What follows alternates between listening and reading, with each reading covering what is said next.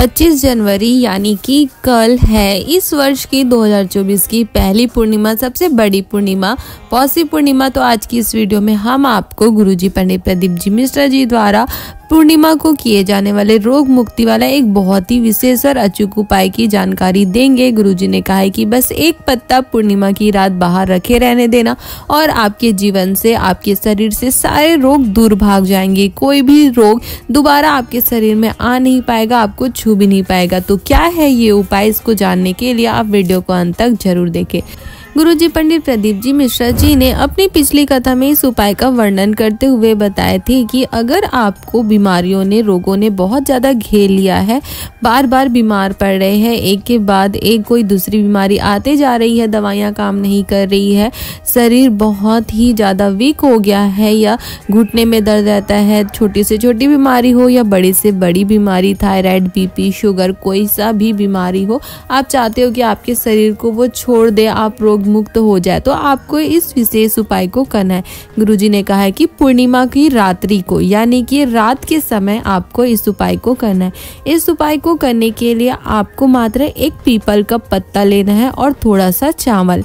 रात्रि को, पूर्णिमा की रात्रि को अपने हाथ में पीपल का पत्ता और उसके ऊपर थोड़ा सा चावल रखकर, पीपल के पत्ते के ऊपर थोड़ा सा चावल रखकर आपको अपने दोनों आँखों से उसे स्पर्श कराना है, यानी कि आपको दोनों आँखों से छुआना है।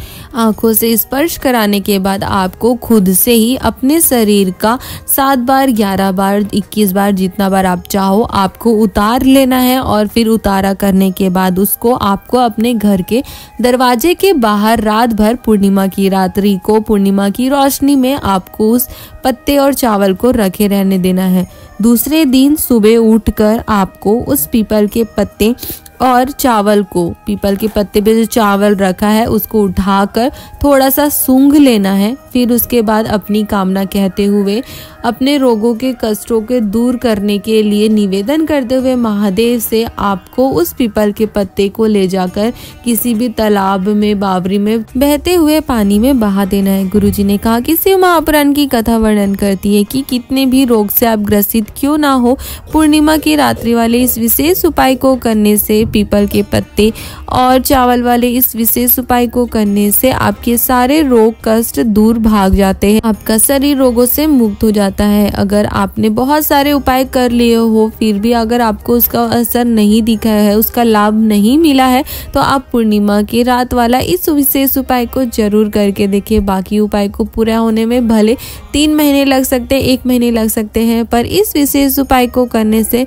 पूर्णिमा की रात्रि की इस विशेष उपाय को करने से मात्र एक रात्रि में ही आपको आराम लगना शुरू हो जाता है और आपके सारे रोग, दोष, कष्ट सभी दूर भाग जाते हैं और आपको दोबारा वो बीमारी छू भी नहीं पाती है, कोई भी बीमारी आपके पास आ भी नहीं पाती है, आपके शरीर को छू भी नहीं पाती है। तो बहुत ही विशेष उपाय है, गुरुजी ने बताया कि शिव महापुराण की कथा वर्णन करती है कि एक पत्ता पीपल का एक पत्ता बावन हज़ार ब्राह्मणों की साक्षी कराता है।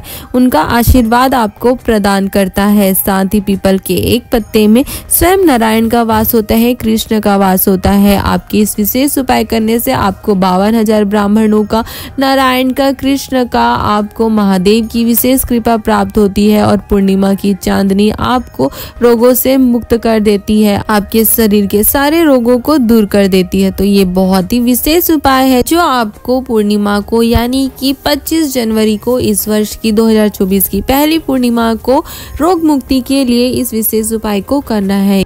रात के समय में आपको इस विशेष उपाय को करना है तो आप बिल्कुल भी ना चुके। कोई भी बीमारी हो, बड़ी से बड़ी हो, छोटी से छोटी हो, कोई भी अगर बीमारी आपका पीछा नहीं छोड़ रही है, बीमार पड़ रहे हो आप तो आप इस उपाय को कर सकते हो, या अगर आप बीमार नहीं हो तो भी आप इस उपाय को कर सकते हो, ताकि आगे कोई भी बीमारी आपके आसपास भी ना भटक सके।